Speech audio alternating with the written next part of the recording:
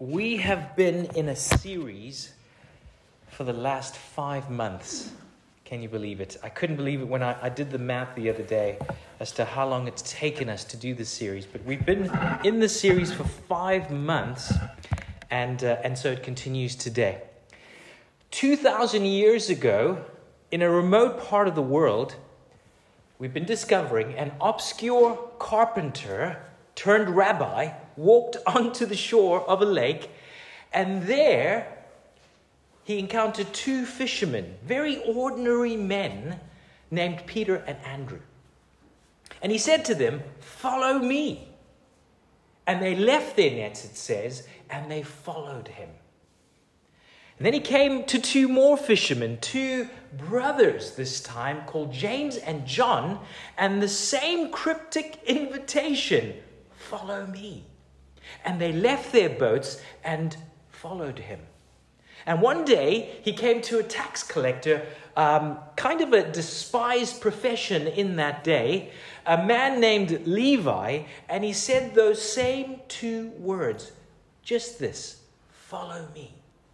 And Levi got up, left his desk, if they had desks in those days, and left his profession and left his whole way of life and he followed this man. And we wonder in these stories, at least I do, what else Jesus might have said, or what else these people, might have known about them, but the stories don't tell us because they only want to focus on this single command, on these two words. And so, this man, whatever you think of him, he walked around issuing what might be called the grand invitation, which is, Follow me. And sometimes people would say yes, and for them it meant many things perhaps high adventure, learning, in some cases, poverty, suffering, very frequent failure, meaning, hope. Ultimately, for some, it was death. Everybody, though, is going to die. And the only question, real question is if you found anything in your life, anything worth dying for. And sometimes he would issue this invitation and people would say no. Maybe that meant security or comfort. We don't know because we, we've never heard from these people again. And so for the last five months as a church, we've been on this journey through what has been the most impactful talk in the history of the world. Whatever you might think of it, it's called the Sermon on the Mount because Jesus gave it on a little mountain uh, and not on horseback. Okay?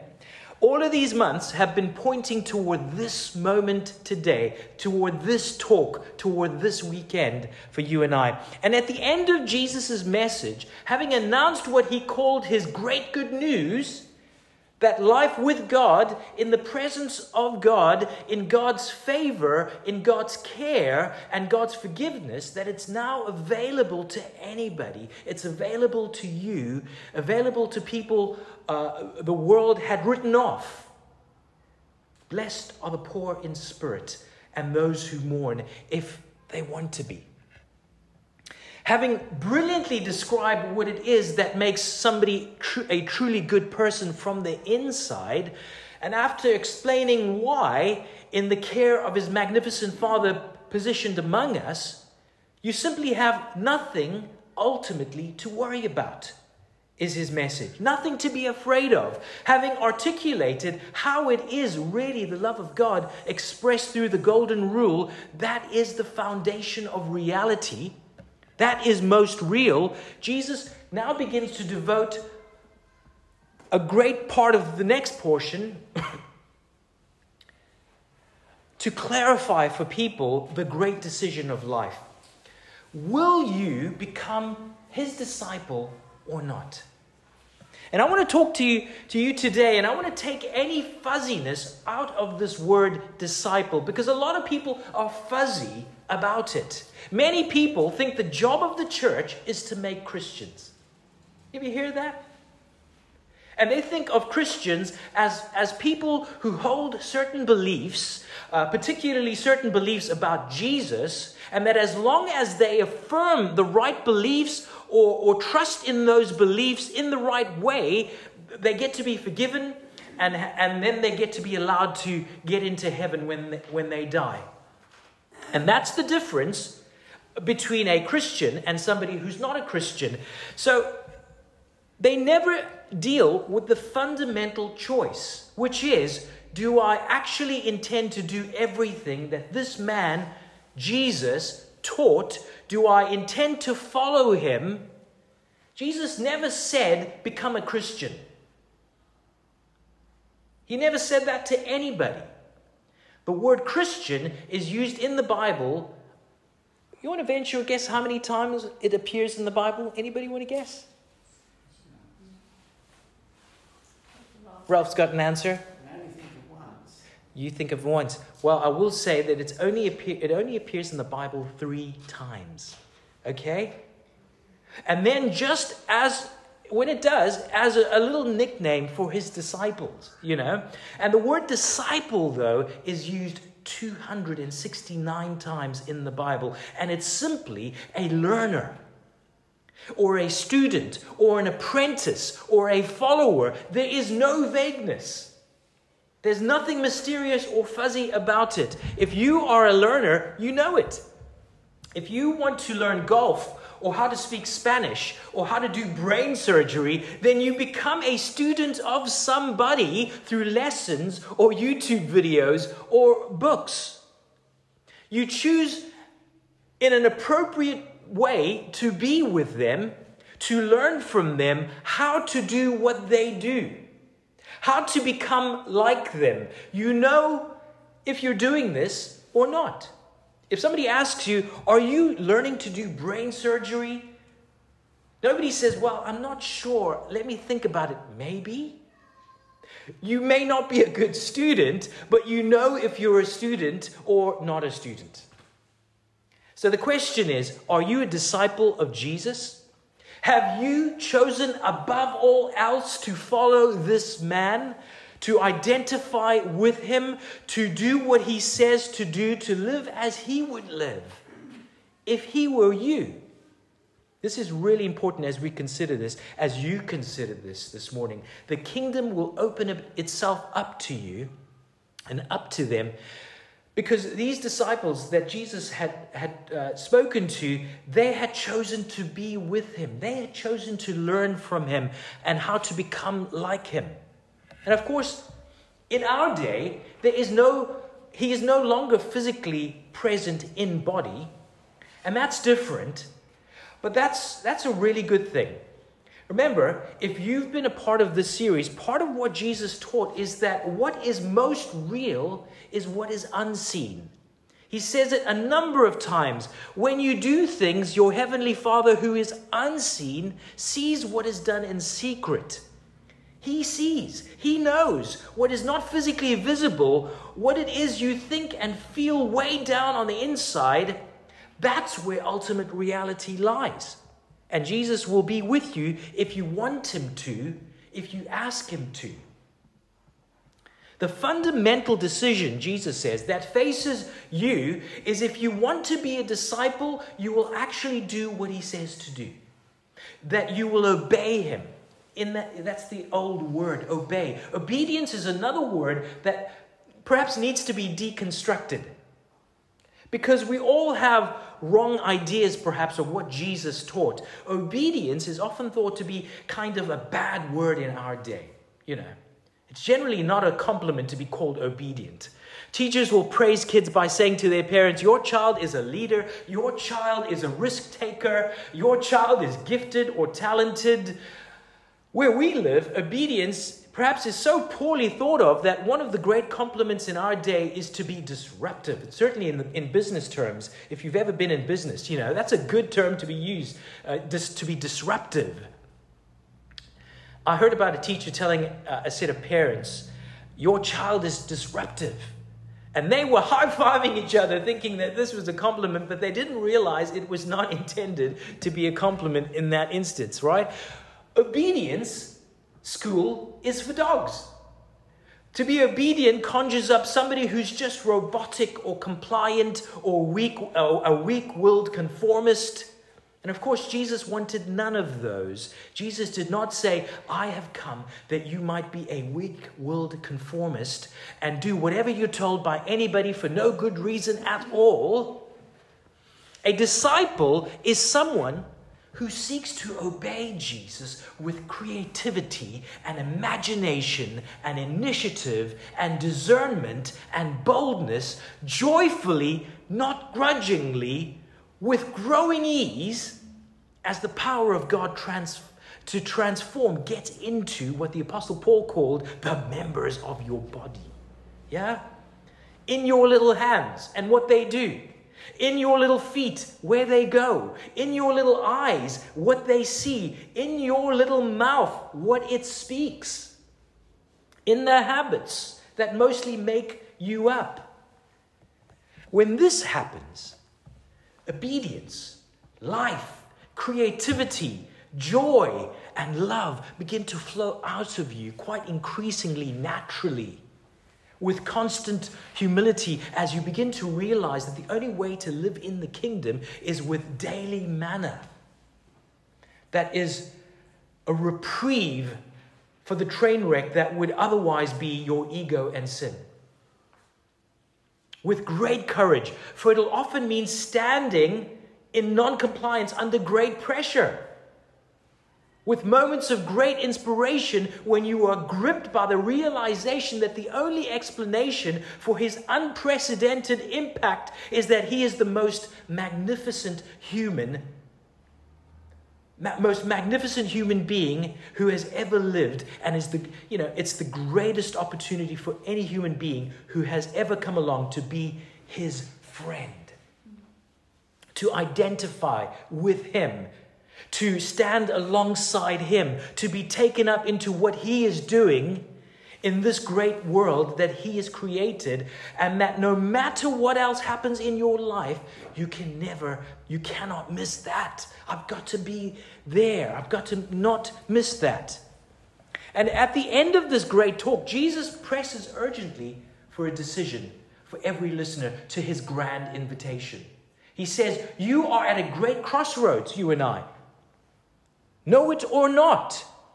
You will either choose the narrow gate that is obedience to him in all things. I will seek to understand and, and with his help and do what it, he says above all else. Or I will choose the broad gate, and that's simply anything else. Whatever that is, it doesn't matter.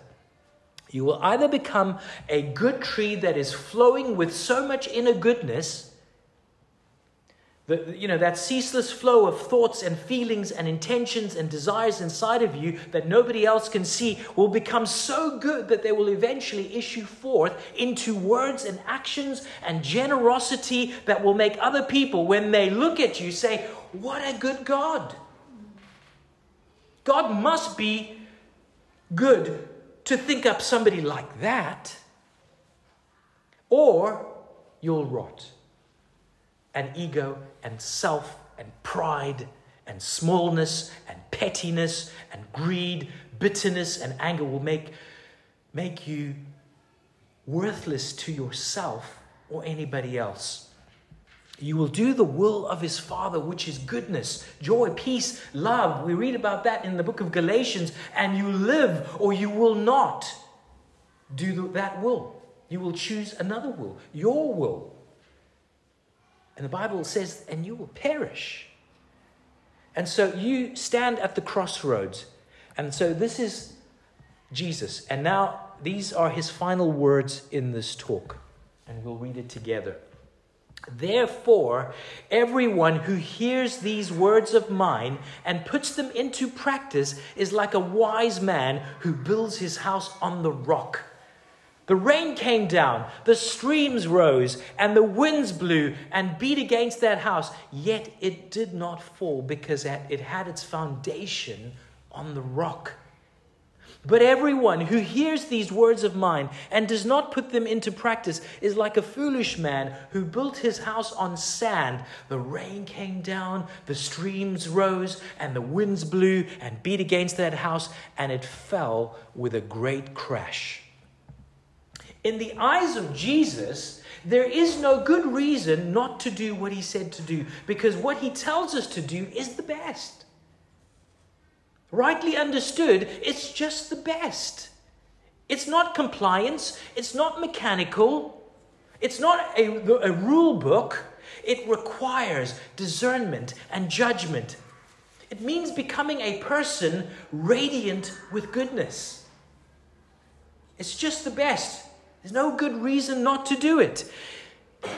Imagine that you applied. I know some of you, uh, uh, one of you in particular, I know has been applying for a couple of roles this week. But imagine you applied to and got accepted at the greatest company in the world, whatever that company is, I won't say. And you report directly to that CEO.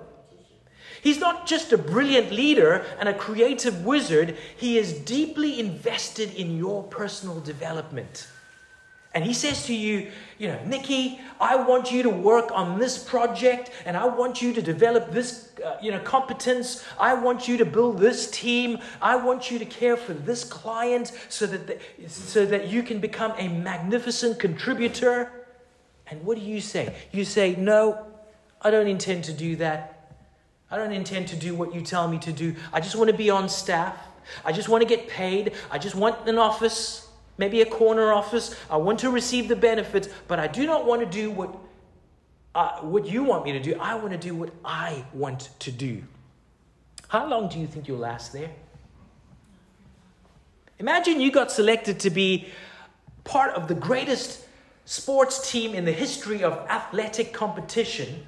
And the coach there is not just a strategic genius and an inspirational figure, he is deeply committed to your excelling. And he says, you know, he might say, Ammon, I want you to do this training. I want you to watch these games on YouTube so that you're familiar with our opponents. I want you to practice these exercises, Ralph. Serve this team. And you say, no, no, no, no, I don't think so. I want to be on the roster, yes. I want to keep you know, the championship trophy at the end of it. I want to have the kit or the shirt or whatever it may be. I want to get those advertising endorsements. But I don't intend to do what you tell me to do. How long do you think it would last, you would last on the greatest team in the history of sporting? Hey? Now imagine standing before Jesus one day and trying to explain to him why you did not even ever fully intend to do as he said to do. Maybe you have good reason for that. And in his fairness and in his understanding and his compassion, that who that is who Jesus is,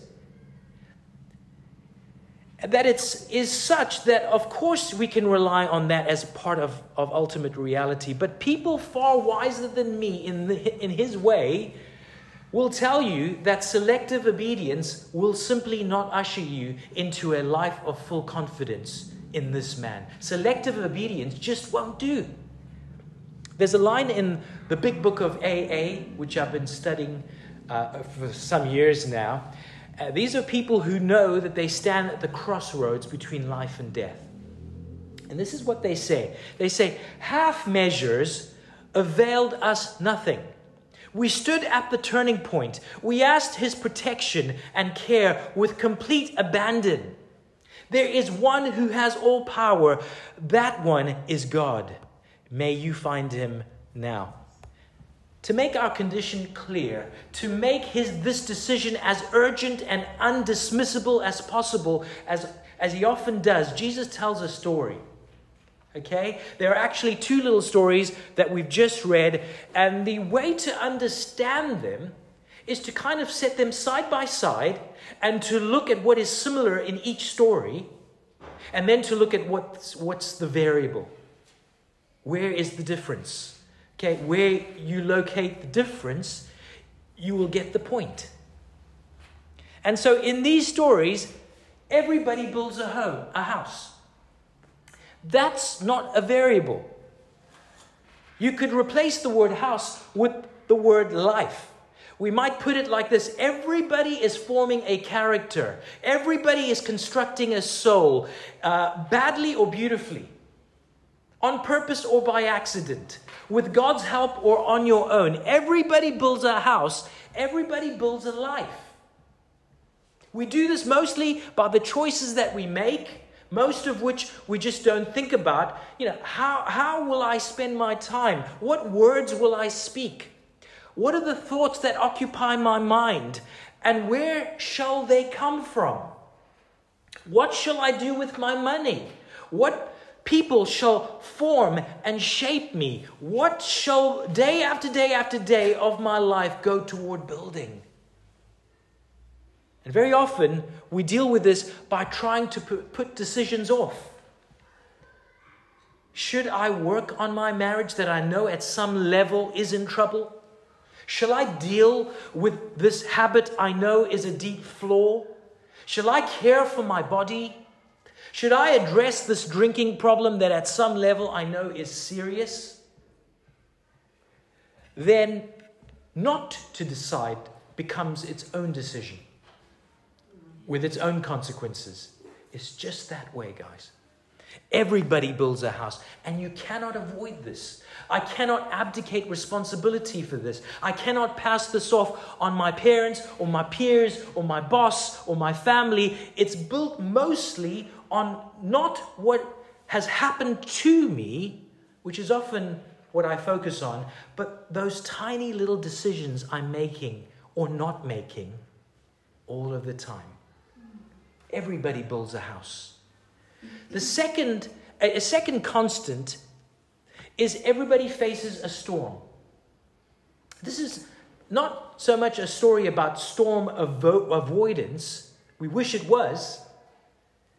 There's no way to do storm avoidance in life, not by having more money or by being really smart, not even by having a lot of faith in God or praying really hard and boldly. Jesus says the storm will come. Everybody faces a storm. Somehow they surprise us there. And we think we shouldn't. We think we're so smart or strong. The strength of the storm will reveal the foundation of the house. Now, you should know that in Jesus' story, he's not talking really about problems in general. He, he has something in particular in mind. In the Bible, a storm is often used as an image of the judgment of God. How God does not intend to let this world go on being messed up. He will disrupt it and He will set things right. The story of Noah and the storm and the flood, if you remember that, is an expression of the judgment of God on a messed up world, on a wicked world. That's the idea behind Jesus' storm in these two stories. In the Bible, it says every human being is appointed to die once. Whatever you think about this, every human being is appointed to live once. You didn't get here because you chose to. Uh, it is appointed that you and I will die and then face the judgment of God. I will be accountable to God for my life one day. Every once in a while, something happens in my life where somehow a part of what I had done becomes revealed or accountable to other people. And that can be pretty sobering to me. Imagine standing before God, though. Everybody builds a house, everybody faces a storm. The variable in the story, though, is what foundation you build your life on. You will either build your life on obedience to Jesus, identifying with Him, and by His grace doing what He said to do with His help, or, or you will, in your attitudes, in your words, in your actions, in your relationships, and with your money, do something else. What's your choice? I need to tell you this half measures avail us nothing. You see, my problem is I would prefer half measures. I'd like a little surrender when I feel like it. I'd like a little devotion. I'd like a little generosity. I'd like the help from God when I need it and a little distance from God when I want it. But I cannot live in a half house. And so, rock or sand, follow or not follow. This is the great commitment now, today, that God would set before every one of us through Jesus, it's important that this commitment, if it is made, be made soberly and clearly. And not in a moment just of temporary emotion. Jesus' advice on this, given in the Gospel of Luke when he tells another story about a little building project, is this count the cost. Before you decide, count the cost as best as you can. So I want to give you a moment to do that shortly. And really, there are two costs to count. One of them is the cost of discipleship. That's a wonderful phrase from a great Christian by the name of Dietrich Bonhoeffer. I'd ask you right now, in this moment of decision, that you count the cost of being a disciple. There will be a cost.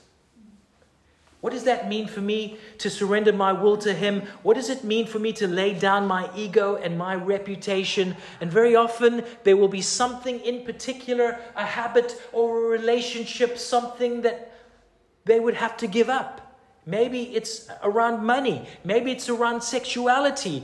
It's often that way for people. Anger, words.